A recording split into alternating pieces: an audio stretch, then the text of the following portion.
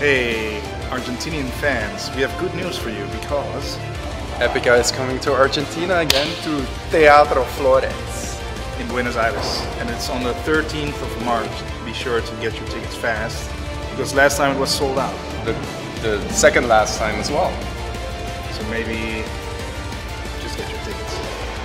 And see you there because we're gonna have an awesome party with the Quantum Enigma songs and much more. We can't wait be back.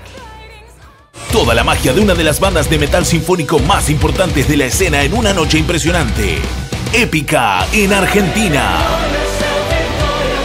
South American Enigma Tour 2015.